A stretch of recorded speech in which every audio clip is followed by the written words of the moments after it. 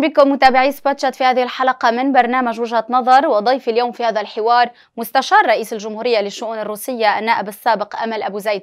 أستاذ أمل أهلا وسهلا فيك معنا اليوم عبر سبوتشات لنبدأ أولا من الانتخابات النيابية يلي تعتبر نتائجها كانت كارثية على منطقة جزين تحديدا. من المفترض أنه كانت جزين هي من أسهل المعارك وبدل من أن تكون الأسهل كانت من أصعب المعارك على التيار الوطني الحر. شو صار اليوم بجزين تحديدا؟ لا أول شيء تصويرك لها انه من أسهل المعارك. لا مش ضروري تكون من أسهل المعارك لأنه طبيعة التحالفات اللي نحن رحنا لها بانتخابات يعني بمنطقة جزين كان فيها شوية صعوبة لأنه كان في نوع من فيني أسمح لحالي أقول في نوع من رفض صيداوي بالتعاطي معنا نحن كتيار. يعني في لأسباب متعددة ما بدي أنا فوت بتفاصيلها. بردك للشيء اللي قاله رئيس التيار. إنه هو حكي عن هذا الموضوع عدة مرات إن كان بخلال لقائه بجزين لما طلع عمل زيارة لجزين أو حتى بخلال المؤتمر الصحافي اللي عمله بعد الانتخابات نتيجة الانتخابات وبالمهرجان يلي كمان يلي صار يلي أعلنوا فيه يعني إذا بدك أسماء كل النواب اللي هن بشكلوا تكتل لبنان القوي. آه كمان بنفس الشيء كان في عندك الثنائي الشيعي كمان ما عم بأيد التيار بقي التيار لحاله. وكلياتنا نحن بنعرف إلى أي مدى صار في محاولات كتير كبيرة على صعيد لبنان ككل بمحاربة التيار حتى تكون نتيجته ما تكون نتيجة جيدة. يعني هلا بجزين عندها نكهة خاصة لعدة أسباب لأنه تعتبر حالة عونية أو منطقة عونية بامتياز ولكن تجمعوا مثل ما بيقولوا ال ال الأضداد تبع التيار كلياتهم مع بعضهم. ولولا الحاصل الصيداوي ما كان طلعت النتيجة مثل ما طلعت اليوم. لأنه الحاصل الصيداوي بيلعب دور كتير كبير. مثل ما عم نقول إنه جزين هي كان هواها تيار وطني حر صحيح. وكانت عرين التيار الوطني الحر صحيح. اليوم اختفى لا التيار الوطني ابدا الحر بالعكس أنا خليني بدي فرق بين شيئين صحيح إنه في طلع نواب هن خارج إطار التيار الوطني الحر إيه؟ ولكن الحالة الشعبية أنا عم في عدد الأصوات يلي أخذوها آه إنه يعني مرشحي التيار الوطني الحر. بعضهم لحد لحد هذه اللحظة هن رقم واحد.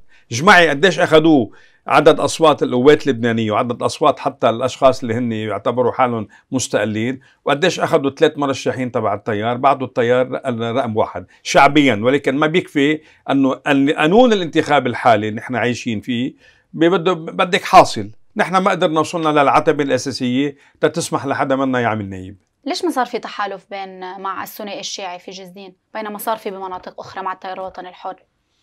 ليه سبب بسيط جدا وقلته أنا عدة مرات وواضح هو لأنه الثنائي الشيعي في عنده مرشح مسيحي. أول سؤال أنا بطرحه كنت على حالي هل يا ترى التيار الوطني الحر أو حتى أي حزب مسيحي آخر كان في عنده مرشح غير من المذهب تبعه أو الطائفه تبعه؟ ليش نحن بدنا نسمح للثنائي الشيعي يكون في عنده مرشح وتحديدا ماروني؟ لهالسبب ما صار في اتفاق. لأنه بنعتبر نحن إنه الأفضل يجي المرشح بأصوات المسيحيين اللي هو بده يمثلهم. هذا ما بيعني إنه الشيعة منهم جزء من من قضاء جزين اللي هو يعني عندهم عندهم تقلهم الانتخابي وعندهم حضورهم حتى الاجتماعي والسياسي ولكن هذا احد الأسباب الأساسية. إذا بدي إذا بدي أفسر وأقول اليوم ربحت النائب غدا أيوب عن مقعد كاثوليكي في جزين. اليوم هل القوات اللبنانية هي قوية لدرجة إنه اخترقت بهذا المقعد ولا التيار الوطني الحر هو ضعيف ومع وما عرف يشتغل صح لهذه المعركة؟ ما فيني أقول إنه التيار الوطني الحر ضعيف وما وما قدر يشتغل. طبيعة المعركة مثل ما قلت لك إياها بالبداية طبيعة التحالفات هي اللي عطت هذه النتيجة. لو نحن لو لو قدر للتيار الوطني الحر إنه يكون في عنده حليف قوي بصيدا ممكن يكون كان الدكتور عبد الرحمن البزري أو حتى يوسف النقيب أو حتى الجماعة الإسلامية اللي حكينا معهم. ثلاثتهم نحن ما كنا مسكرين بابنا حتى مع الدكتور أسامة سعد. حكينا مع مع الكل. ولكن مثل ما قلت أنا بالبداية في أسباب جوهرية أساسية. ما فيك تروحي تعملي تحالفات بصيدا وتكوني قاطعة التواصل مع صيدا بشكل كامل. يعني في حدا مسؤول عن هذا الموضوع. قلت لك أنا ورئيس التيار الوزير جبران باسيل حكي أنا ما بدي فوت بهذه التفاصيل حتى ما نضل مثل نقولوا نلعب بالرماد. خلي الموضوع صار ورانا بس حتى نطلع لقدامنا أهم شيء واحد بالمستقبل. لا أنا بأكد لك إنه التيار منه ضعيف ولكن نتيجة آه، عدم صحة التحالفات اللي قمنا فيها بصيدا أعطت هذه النتيجة ما بيعني أنه القوات أقوى من التيار أبدا. دائما النائب غدا ايوب تكرر في جميع إطلالاتها أنه هلأ في هذه الانتخابات وفي هذه الدورة تحديدا رجع قرار جزين لها من بعد ما كان مسلوب طيلة سنوات طويلة. حلوة هالكليشيه صرت سمعها أنا مرتين ثلاثة بس أنا كمان رح أكون واضح أقول إنه الساحة السياسية منطقه جزين كل العالم موجوده فيها إن كان تيار وإن كان قوات أو حتى كان آه، أشخاص يعني غير منتمين إلى أحزاب حياديين. ما فينا نعتبر إنه حتى قالت رجعت السي... رجعوا السياديين إلى منطقة جزين إنه كسياسي. هل نحن بنعتبر حالنا نحن معتبرين نحن نحن غير غير هذا فيني أقول لك كليشيه بالسياسة لاستهلاك محلي بعيد بالكامل عن الحقيقة والواقع. المهم هلأ وصلوا تنشوف النتيجة. إن شاء الله يطلع يطلع بإيدهم يعني يعملوا اللي هن عم بيحكوا فيه واللي عم بيحملوا المسؤولية على كل السنوات السابقة اللي كان فيها التيار هو اللي عم عم بيشغل المراكز النيابية بجزين ليش التيار ما بيتحمل المسؤولية من كل واحد بفوت بالعمل السياسي والشأن العام عليه مسؤولية شيء طبيعي. ما حدا بيهرب من من المسؤولية ابدا بالعكس ولكن إنه التصوير الواقع إنه هن لبنان أو جزين كانت مرتهنة أو مخطوفة إجوا هن هلأ كسياديين بدي خلينا ننظر للأيام القادمة اللي جاية ونشوف. بدنا نرجع نحسبهم على الكلام اللي قالوه. يمكن هذه نشوة الانتصار الانتخابات اللي عملوها بس آه، برأيي كل ما تقدم الوقت لقدام رح يطلعوا من هذه النشوة يروحوا لأمر للواقع بحد ذاته. رح يفشلوا برأيك. مش قصة أنا عم بحكي بال... إن شاء الله ما حدا بيفشل. نحن واجباتنا كلياتنا نتعاون مع بعضنا حتى منطقة جزين تضل مثل ما كانت مثل ما نحن كنا عم نشتغل فيها ورح نضل نشتغل فيها. ما بيعني إذا خسرنا انتخابات نيابيه رح نترك. رح ضل حد أهل رح ن... حتما مي... هذا هذا أنا 2018 خسرت مقعد نيابي بس شو بقيت؟ لبل زاد نشاطي بال... بال... مع الناس لأسباب متعددة. لما تحس الدولة انسحبت بطل في عندك دولة بمعنى اجتماعيا ونقديا. بدك تكوني حد أهلك شيء طبيعي. نحن ما تركنا.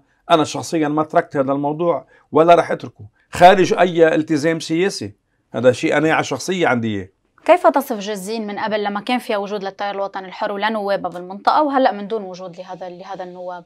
لكن لما التيار سنة 2009 أخذ ثلاث مقاعد نيابية كان جزين بأطعس الحالات السياسية والاجتماعية والاقتصادية والثقافية والتربوية وكل شيء بدك إياه. لأنه كانت منطقة منسية بسنة 82 كان في احتلال بقي ولسنة 2000 الاحتلال موجود بعد 2000 الدولة أبدا الدولة كانت غايبة. سنة 2012 أو 13 بعتقد كان حصة منطقة جزين 0.4% من حصة كل إنفاق الدولة اللبنانية. بعد 2009 انصرف ملايين الدولارات بقضاء جزين ملايين الدولارات لتحسين البنى التحتية لمواضيع العلاقة بالطرقات لمواضيع العلاقة بالمياه بال بالمجارير. عمل عمل شغل كتير كبير على الصعيد السياحي على الصعيد الرياضي على الصعيد الثقافي التربوي الإنمائي. البلديات اتحاد البلديات اللي على رئيسه اليوم صديقنا خليل حرفوش قام بدور كتير كبير كتير كبير يلي بينكره بكون عم ينكر وجوده وعم عم ينكر حاله. حتى القوات اللبنانية اللي هي جزء من من من بلديات الموجودة ومن بلدية جزين ما فيها تنكر هذا الواقع. ما هن جزء بهالبلدية وعارفين الاتحاد والبلديات شو عم بيعملوا بال من مين كان إذا بدك المظلة التيار الوطني الحر وكل وزراء التيار الوطني الحر اللي هن يلي وصلوا على السلطة بهذه بهذه الفترة الزمنية كلها. بالعكس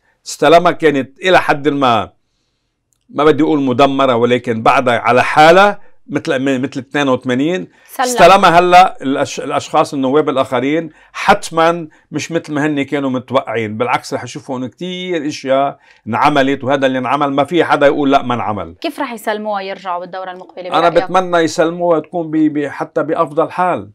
نحن ما بدنا نضل واقفين محلنا الجمود بحد ذاته هو وفاة وموت. هل كان آه، للسبب للخلاف بينك وبين النائب السابق زياد أسود سبب بخسارتكم اثنيناتكم؟ ممكن يكون في له سبب معين بس بدك بنهاية الأمر مثل ما قلتي أنت قبل شوي المسؤوليات نسبية يلي بتحمل المسؤولية الكبيرة بهذا الموضوع هو بيعرف حاله والناس بتعرفه. النائب زياد أسود؟ ما بعرف أنا ما بدي أحكي الناس بتعرف.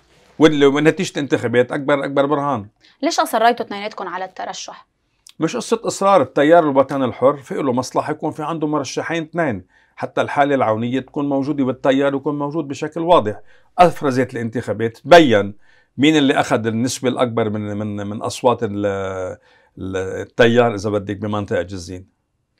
ليش اليوم ما حدا انسحب لصالح الآخر؟ يعني اليوم الأصوات تشتتت بينك وبين النائب السابق زياد أسود، ليش ما صار في انسحاب لمصلحة التيار الوطني الحر في المنطقة؟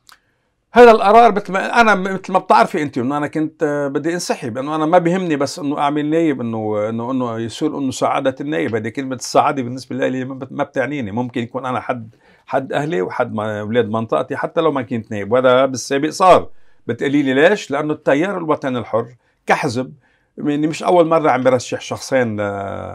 ل... يعني بي... على المقاعد المارونية بمنطقة جزين آه، أخذ القرار ونحن مشينا بهذا القرار. كنت عارف إنه هيدا الانتخابات مش رح تكون مش رح تخدمك مش رح تكون لصالحك مش رح تفوز فيها اللي فيني أقول لك إنه لما أنت بتبقى رايحة على انتخابات وعارفة إنه الحلف اللي عندك اياه بصيدا حلف منه قوي ما, ما ممكن يقدر يعطيكي حاصل. شيء طبيعي تتوقعي هيدي النتيجة. طبيعي. أنا اللي ما كنت متوقعه إذا بدك بالحقيقة كمان إنه هذا الاصطفاف الشيعي اللي ورا المرشح الأستاذ إبراهيم عزار يلي كمان يعني سقط بهذه الدورة الانتخابية.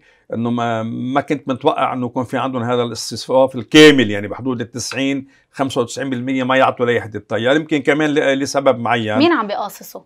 عم بيقاصصوا عم بيقاصصوك عم بيقاصصوا مش مهم السابق زياد اسود ولا التيار والرئيس حتى إذا كان في عندهم هن قصاص لأحد الأشخاص المرشحين بالنهاية التيار يلي يلي هو الخاسر بمنطقة جزين. يعني خسر معادن نيابيا واضح. يعني لا من الشيعة ما طلعنا بخير ولا مع مع السنة طلعنا بخير. أصواتنا هي الوحيدة اللي نزلت على الساحة. بقول لك أنا أوكي كان ممكن يكون في أصوات تطلع تصوت أكثر ولكن كمان في عندك مرشحين أخذوا من صحن التيار مرشحين مستقلين. يعني القوات قوات وفي حتى قوات يعني ما, ما ننسى نحن التصويت الاغترابي اخذوا أخذوا نسبة لا بأس بها أخذوا أكثرية فيها شيء 1300 صوت بعتقد آه، غدا أخذت من الاغتراب يعني كمان نسبة لا يستهان بها ابدا.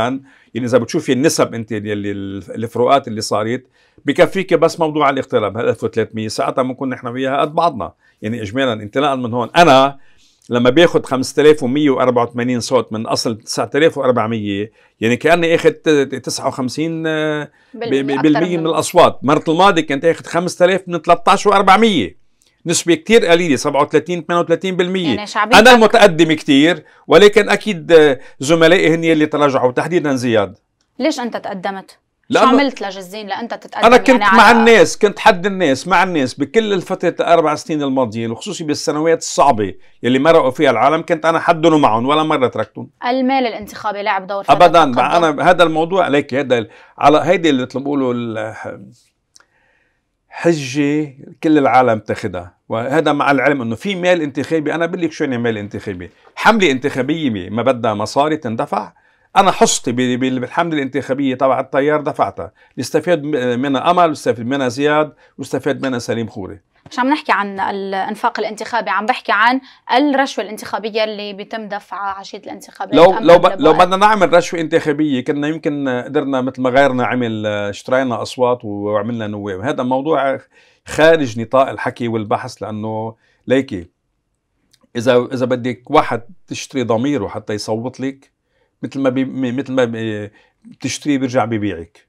ليش هذه الاتهامات اليوم كلها عم طبيعي توجه طبيعي. صوبك إنه من مين؟ من النائب زي النائب السابق زياد أسود ما بدي إنه بتجي بتجي اليوم بيجي حدا آه، ملم بالعمل السياسي بيتعب طيلة هيدي الفترة بجزين وقال كمان إنه بيرجع بيجي حدا عنده بيجي رجل أعمال وبيشتري كل الأصوات وبيشتري التعب يلي هو حطه آه. ليش هو معلش أنا بسأل سؤال هو اللي هو الأساس بكل العمل السياسي بمنطقه الجزين هو ابن التيار، التيار هو الأساس مش الشخص. نحن بنلعب أدوار معينة ولكن السياسات العامة بيرسمها التيار، لو ما كان في العماد ميشيل عون بهداك الزمن مين كان منهم قدر يعمل نواب؟ يعني أنا بدي هون رد مقولي قال لعماد عون لقالي قال لي أنا مثل ما واحد جبته فتحت له حساب بالبنك وأعطيته مصاري حط بحسابه إذا هو صرف وصفر الحساب شو ذنبي أنا؟ زياد أسود صفر حساب. أنا ما عم بحكي عنه بس أنا بحكي شو قال العماد مشان عون طب هذه المقولة تنطبق ممكن على النائب زياد أسود؟ ممكن. هو هو ليك يلي بيخسر على طول ليش أنا ما على الخسارة مش عم بتهم الآخرين؟ يعني أنت كمان خسرت ومانك عم ابدا مقتنع أنا بالخسارة هذا بال... بال... بالانتخابات في ربح وخسارة الشخص يلي عم بيحكي عنه إذا هو إنه أنا اشتريت وعم بيحكي عن عن زملائه بالتيار أو أو بالحالة العونية. نحن هيك؟ هو هيك في احتقار لعقول الناس وفي إذا بدك نوع تبسيط للأمور. لا روحوا يفتشوا على الأسباب الرئيسية اللي خلتهم يتراجعوا هالتراجع الكبير هذا قبل ما يحكوا بالموضوع المادي. أسهل شيء تحكي بالموضوع المادي. أنا بحكي بالموضوع الانفاق الانتخابي على صعيد الحملة اللي قامت فيها القوات اللبنانية الإعلامية والإعلانية. هنيك إيه؟ بس بتروحي على محلات تاني حتى لو صار في دفع مصاري. كل لبنان صار في دفع مصاري. اليوم إذا بدي أحكي يعني النائب زياد أسود ليش تراجع؟ ليش تراجعت شعبيته بجزين اسألي له ما أنا مش أنا شغلتي أعرف. ليش تراجعت شعبية إبراهيم عزار؟ مسيحيا. كمان هذا سؤال هل لأنه النائب باسيل ورئيس الجمهورية العماد ميشيل عون كانوا داعمينك أنت وبفضلك أنت على النائب زياد أسود. مش مش بس ضروري هذا الشيء ولكن افترضي إنه هذا الشيء كان صحيح. شو في شو السبب تبعه؟ في شيء بلا سبب؟ بده يكون في سبب. ما بتعرف السبب. أنا أنا السبب بعرفه والعالم بتعرفه. ما, ما فيتهم ارجع احكيه ولا هو وزيادة بيعرفه. وجبران باسيل قالوا عدة مرات مش إنه مخبيه. في سبب واضح. من قصد نائب باسيل بمهرجان النصر لما قال إنه إيه اليوم في خونة خان خانة التيار؟ ما ما هيدا بدك تسألي الوزير باسيل أنا ماني عارف شو عن عن شو هل قصد نائب زياد؟ ما بعرف حقيقه ما بعرف ما فيني فيدك بهيدا الموضوع. وما بيعنيني إذا كان عم بي عم يعني له هو أو لا. أنا بيعنيني شغلة وحدة. خلصنا الانتخابات يوم الأحد يوم الاثنين رح نضل بنفس الوتيرة مع أهلنا حد أهلنا نشتغل بالعمل السياسي تنرجع نبرهن لكل الناس إنه نحن مش إذا خسرنا بنبرم ظهرنا منفل. نحن موجودين ما حدا في يلغينا. وما حدا أكبر من حاله أكبر من الحالة تبعيته من العالم اللي عايشوا اياها وما حدا أكبر من حزبه. الحزب هو الأساس مش الشخص مش رح تخ... ما رح تخرج تسلك طريق أسلافك مثل ما عملوا وتخرج من تكتل حتما لا. لو بدي أعملها كنت عملتها قبل. أربع أربع سنين كان فيني أعملها. ليش بدي أعملها؟ أنا ما برمي حجره بالبير. يعني معروف عني. أنا معروف عني ابدا. أه، شو قصة الأوتيل يلي تكلموا عنه؟ الأوتيل الشهير في جزين يلي كان عم عم بت... عم بيصير فيه عملية شراء الأصوات. ما عم بسمع منك أبو مرة. صدق ما معي خبر. تكلم النائب زياد أسود باحدى مقابلاته بي لما كان قاعد مطرحك إنه في أوتيل كان عم آه، يشترى فيه الأصوات. ما رح رد على هيك سخافات وتفاهات بس ما بسمح لحالي أقول هالكلمات هيدي. ما برد على هيك شغلات أنا. لو سمحتي هذا هذا الموضوع آه، آه، نسيه. كيف هلا العلاقة؟ أم شو العلاقة؟ شو نوع العلاقة اللي بتربطك بينك وبين ماشي ما في علاقة ابدا. انتهت الانتخابات رح يضل في خلافات بيناتكم ولا خلص؟ بطل في شيء تتخانقوا عليه ولا مقاعد؟ بصير خلافات. مش ضروري إنه أنا يكون هو حبيبي وعيني وهو أنا نفس الشيء بالنسبة له. اثنيناتنا منضويين تحت حزب واحد كنا مرشحين. وأنا قلت ببيان العودة إنه أنا بنسى كل الإساءات اللي صارت وعم بطلع لقدام نحط كتفنا على كتف الناس كلياتها تنشتغل سوا. هو ما تجاوب شغلته ما شغلتي أنا. كنت دائما تقول إنه كل شيء بتعمله هو لمصلحة التيار الوطني. طبعا. هل خلافك اليوم مع النائب السابق زياد أسود؟ يعني ما أساء لمصلحة التيار الوطني الحر؟ مش خلاف هو خلافه هو معي. بدك تشوفي مين اللي بدأ الخلاف وشو الأسباب؟ شو أسباب الخلاف ما بعرف اسالي له ما تساليني أيوة معك. هلا لا لا أنت لا موجود ما أنت كان أنت عم تقولي لي كان عندك هون المرة الماضية. أنا بهذا الموضوع صدقيني إذا قلت لك بقى اللي بقول لك إنه هذا الخلاف لازم يضل ضمن الإطار الحزبي ما يطلع لبرا. اسألي مين اللي طلعه لبرا شو الأسباب؟ بالماضي عم بحكيك أنا مش هلأ. عم بحكي من 2017 لليوم. مسيرة بلشت بال 2017 لليوم. أنا بالنسبة لي هذا الموضوع ما بقى يعنيني نهائيا ما برد على كل الإساءات. يلي يلي صار صار نتيجة فعلية. لازم هو الإنسان اللي بيعرف حاله إنه غلط يحاسب حاله. إذا بهمه الوضع العام والشأن العام بهمه الحزب تبعه بهمه حالة السياسية بالمنطقة اللي هو بينتمي لها يروح يشوف كيف بده يصلح الأخطاء اللي عملها. ما جرب حدا يصالحكم مع بعض؟ مش مهم قصة إنه حدا يجرب قصة مبدأ بالنسبة لإلي. ما ممكن. هذا موضوع ما مخ... رح يضل في خلاف ما ممكن أكيد. ترجعوا. أكيد. أنا على حتى لو كان لمصلحة التيار أنا بعتبر مصلحة الطيار آه، أنا عندي مفهوم ثاني لمصلحه الطيار بمنطقة جزين. يمكن أنا أكون على خطأ أو على صح بنهاية الأمر بهمني النتيجة اللي صارت. الطيار واضح كان بنتيجة التصويت تبعيته مين اللي بيفضل بجزين. بعد بدي اياك ترد على اتهام واحد، هل فعلا أنت رجل بسيل لدى المصارف مثل ما عم نقرأ دائما بيكتب عنك يتهم يعني تتهم بهذه التهمة؟ هيدي تهمة جديدة. ياما في اتهامات باطلة انقالت قبل ما قلت لك من 2017 في كم هائل من الاتهامات. حتى قالوا انه انه إنه جبران باسيل شريكي إنه جبران باسيل مسافر بطيارتي جبران باسيل قاعد بال... عندي بالبيت بلندن وأخبار قصص هيدي لك قصص سخيفة تافهه مثل أصحابها اللي بتطلع منهم هيك كلمات. لأنه يلي بيكون ما عنده ثقة بحاله وما عنده ثقه حتى بالكيان تبعه بوجوده. آه، همه شو؟ إنه يكب أخبار كاذبة على على الطرف الثاني يا أما هو مش قادر يكون مثله لهذا الطرف الثاني مع احترامي لكل لكل الناس يعني. بعدين أنا صفة رجل الأعمال على طول بشوفها كأنه شيء غلط. منين؟ وين غلط؟ شوفي لي بالعالم كلها رئيس أمريكا كان اجى منين؟ رؤساء الأمريكا كلها اليوم باليوم بالمجلس النيابي أو حتى ببعض ببعض النواب واللي عملوا رؤساء حكومات إنه إذا واحد عامل رجل أعمال جاي من عرق جبينه ومنه سارق ومنه ناهب ومنه عامل شيء خارج إطار القانون صار هو غلط يعني؟ وهن وهن الصح اللي عم بتهموه معلش هيدي هيدي إساءات وهيدي تفاهات وسخافات وهيدي قلة عقل بسموها. شو رأيك بالمجلس الجديد وبالنتائج اللي افرزتها الانتخابات؟ بالنهاية هيدا المجلس اللي صار اليوم مثل ما قلت في في تعدد آه، آراء فيه منه آه، ما في اكثريه وحدة. أساسا ما كان في اكثريات وحدة بكل بكل المجالس النيابية اليوم ولكن في هذا الموزاييك الجديد انعكس آه، يعني هو انعكاس لرأي الناس اللي راحت صوتت إن شاء الله هذا المجلس يكون يعني على قد أمال وطموحات الناس اللي هي كانت تتمناها لأنه في كتير أمور بحاجة لمعالجة بلبنان ولكن روما من فوق غير روما من تحت. هذا أنا بدي أقول لهم إياه لكل الناس اللي إجوا على المجلس النيابي جداد. ما لازم ييأسوا إذا شافوا الأمور. مش مهنة كانوا عم بيشوفوها من الخارج بس يفوتوا على المطبخ الداخلي لأن الموضوع مش بس بالأشخاص الموضوع بالنظام كنظام سيستم النظام السياسي بلبنان مركب بشكل كتير صعب إنك تقدري تحلحليه ولكن على المرء أن يسعى.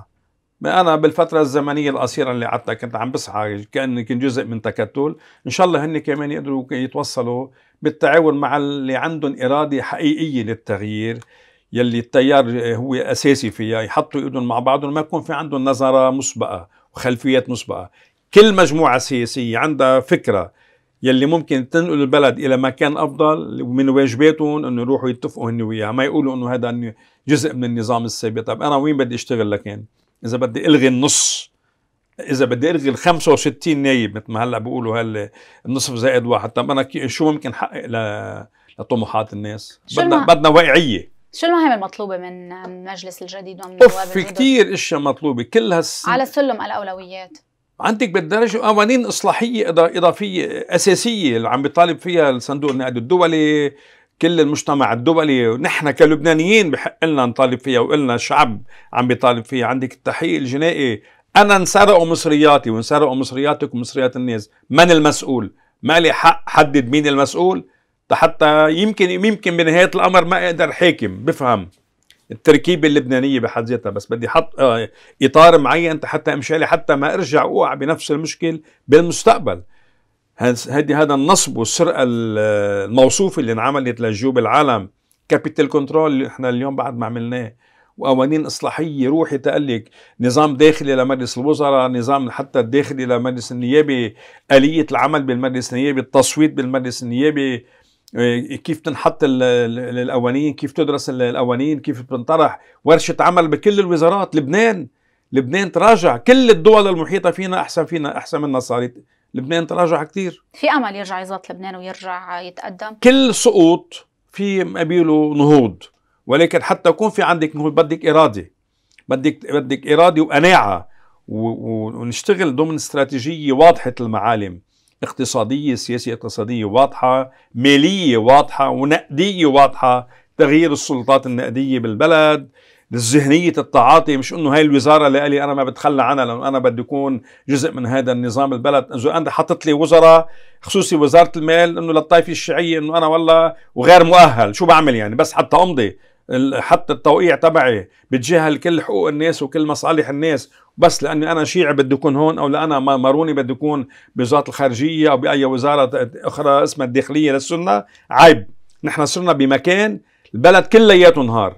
لبنانية عم بيهاجروا. لبنانية عم بيكفروا. لبنانية ما بقى عندهم إيمان بشيء لازم نترك الأمل موجود وهذا الأمل بده يكون مبني على أسس ثابتة. الاسس الثابتة بدها تكون منطقية ونروح فعليا للدولة المدنية. ولا شو شو عم نعمل؟ لشو ما نضل قاعدين هون لكن؟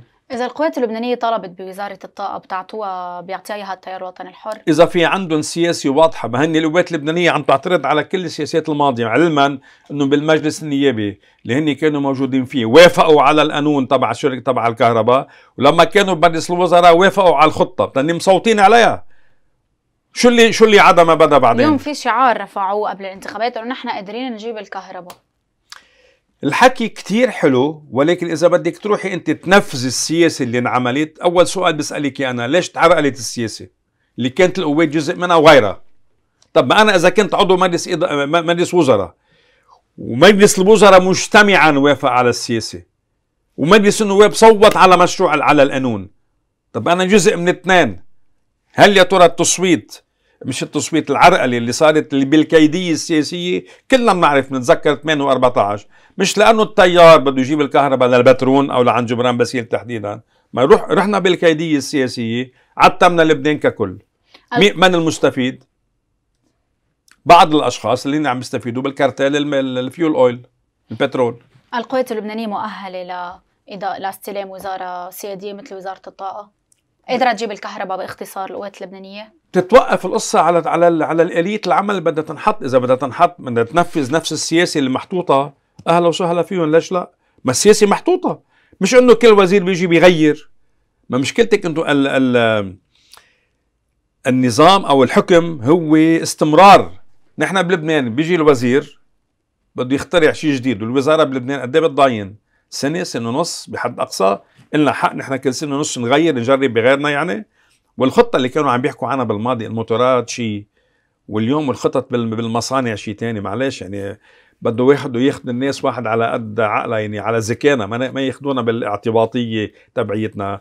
في دراسة محطوطة في خطة محطوطة. أنا وافقت عليها أول مرة وافقت عليها ثاني مرة. بعترض على بعض اللي يمكن الأمور بمجرى العمل إيه بس ما بلغي الخطة بالكامل بوقفها بعدين نقول أنا والله فيني اعمل هني أو غيرهم القوات أو حتى غير القوات.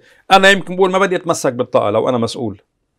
خذوها مفتكرين إنه نحن في عنا مكسب فيها خذوها بركي ليغطوا شيء فساد معين من هذه الوزارة ما بيقبلوا يسلموها لحدا ما هي مشكلتك إنه قديش انحكى بموضوع الفساد بموضوع الكهرباء؟ في شيء حدا تقدم بإثبات معين وراح على المحكمة فيه؟ قد ما بدك فيني اتهمك أنا. أنا هيدي مشكلتي مع الناس إنه بيتهموا بدون أي إثبات. فيني أنا هلأ أقول هلأ؟ اليوم أنا قاعد أنا وياك هلأ أعمل لك اتهام روح اشتكي عليك. أوكي؟ هل صار شيء حقيقة؟ فرق حتى تصير القصة حقيقية بدها شيء قضائي إثبات ويطلع حكم قضائي. من لحظه الاتهام أو ال أو ال أو الإخبار للحظة إثبات الحقيقة إذا كان صح أو أو غلط عندك هذه الفترة العالم بتروح بالهوس. إنه يا بابا مدري شو في. حكي قد ما بدك في حكي. إذا بدي أحكي شوي عن الباخرة اللي وصلت لتبلش تنقب بحق الكاريش آه، اليوم هذه المنطقة هي منطقة متنازع عليها. صحيح.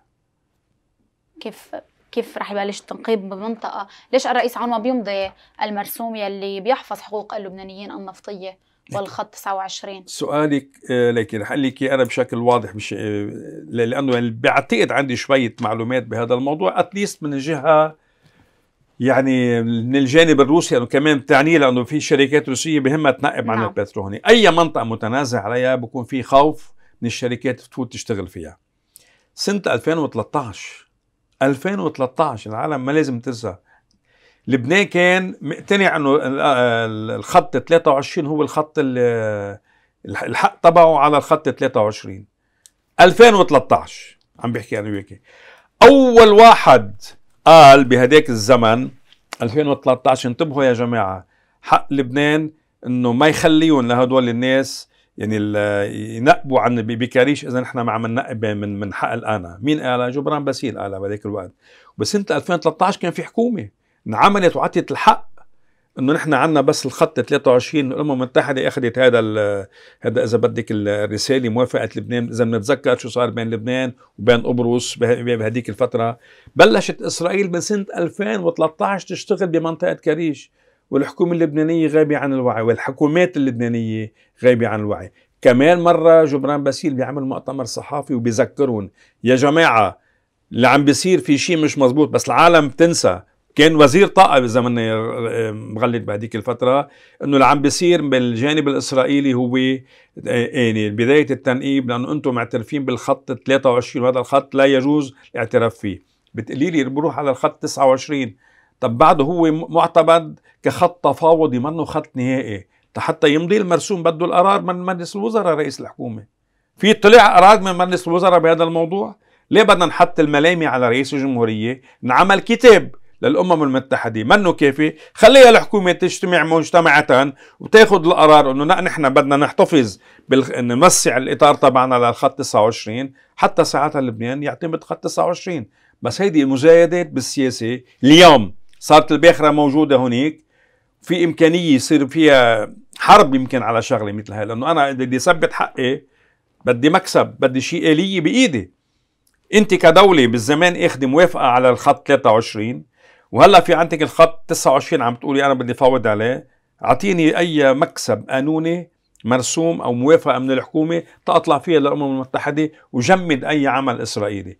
يمكن هلأ اللي عم بصير مبا... في يكون في مبادرة أمريكية عن جد تحس أمريكا أنه فعليا دورها صار جوهري وأساسي حتى ترجع تكفي التفاوض كان عمل نوع من, من اتفاق بين بين لبنان يعني والإسرائيل بهذا الموضوع الحدود البحرية بوسط الحكومة الأمريكية. البعض يفسر ويقول أنه الرئيس عون ما بده يمضي على المرسوم 29 يعني بيحفظ حقوق لبنان النفطية هو أنه في اتفاق بينه وبين الأمريكان. طب تعرف لا كرمال يقيموا العقوبات عن النائب جبران باسيل. انت برأيك انه هلا كمواطنة لبنانية بتعتقد انه ميشيل عون بده بده يضحي بكل مكتسباته والحقوق اللبنانية كرمال كرمال العقوبات تبعت جبران باسيل؟ في لها مسار قانوني العقوبات على جبران باسيل. مثل ما انحطت بتنشال. في لها مسار معين خارج نطاق لما هذا هذا كمان من فيني أقول لك معلش حتى ضمن الكيدية السياسية والتسخيف السياسي والإعلامي اللي موجه ضد جبران باسيل ضد رئيس الجمهورية. مش مصلحة حرام. مش مصلحة باسيل ابدا مصلحة, مصلحة في أنا بفكر مصلحة لبنان انتبهي. وحتى العماد عون ما بفكر إلا إلا إلا بمصلحة لبنان بهذا الموضوع. ثروة نفطية غازية موجودة مش مسموح لإسرائيل تبلش إلا ما أنا أكون في عندي الحق التنقيب أنا وياها بشكل مباشر بالآبار الموجوده عندي بالجنوب. هذا هو الهدف الأساسي لازم نحن نشتغل عليه. مش نزيد نقول إنه العماد عون ما بده كرمال كرمال كرمال جبران باسيل. بالعكس وين الإثبات بهذا الموضوع؟ بالأساس تهمي من التهم. فعليا هيك. في الختام كيف ترى المشهد يلي ناطر اللبنانيين والسيناريو اللي ناطرهم بعد الانتخابات؟ أنا برأيي المشهد اللبناني يعني بعدنا بعنق الزجاجة. ما ما برأيي إنه الأمور رح تروح للحل بالوقت القريب جدا لأنه لبنان يرتبط بالواقع الإقليمي بشكل كتير كبير بعده بالإقليم كلياته بدءا من سوريا تتروحي للقضيه الفلسطينية شو عم بيصير تتروحي تشوفي بالعراق كيف بدها تنحل الأمور كمان باليمن الخلاف شو اسمه السعودي اليمني أو الإيراني حول حول اليمن. اتفاق النووي نحن جزء من هذه المسيرة الكبيرة ولكن في مسؤولية خاصة علينا كلبنانيين بمواضيع داخلية. مسؤوليتنا المباشرة إنه نحن ما نضل ناطرين شو بده يصير بالمنطقة لأنه زماننا مهيئين حالنا بحلول واقعية للمشاكل الاقتصادية والمالية والاجتماعية والسياسية وال, وال إذا بدك وهذا النظام السياسي اللي نحن عايشين فيه ما فكرنا فيه بمستقبلنا مستقبل أولادنا وأولاد أولادنا. أي حل بصير بالمنطقة بده يصير على حساب لبنان. لازم يكون في عنا توافق واتفاق داخلي حتى الحل ما يجي على حسابنا. بالحد الأدنى نكون متفقين. إن شاء الله المجلس النيابي والحكومة اللي ممكن تطلع منه يكون في عندها هدف براسها استراتيجي واضح. تحط لبنان على مسار قبول بأقل أضرار ممكنة شو بده يصير من تطورات بالمنطقة وانعكاساتها على لبنان. النائب السابق أمل أبو زيد شكرا لحضورك معنا. متابعي سبوت شوت هيدي كانت حلقتنا لليوم. شكرا لحسن المتابعة وإلى اللقاء.